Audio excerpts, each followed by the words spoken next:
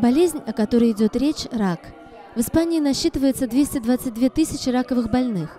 Для тех, кто борется с тяжелым заболеванием, в Севильском центре йоги проводятся специальные занятия. Они называются «Белый час». La hora blanca es un espacio para estar con uno mismo, para conseguir ir más allá del miedo, de la ira, de la frustración, para crecer eh, sobre ese obstáculo que supone la enfermedad. El yoga para las personas que padecen cáncer mmm, se ha visto ya por estudios científicos que mejora la calidad de vida porque mejora el estado funcional de las pacientes, mejora su performance, su estado de actividad eh, física, su estado de salud mental. Создательница проекта тоже объединила болезнь. У Лурдес, инструктора йоги, болен раком отец.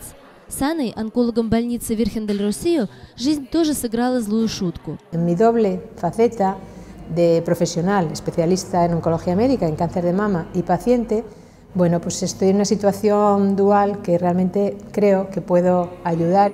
Группа собирается два раза в неделю.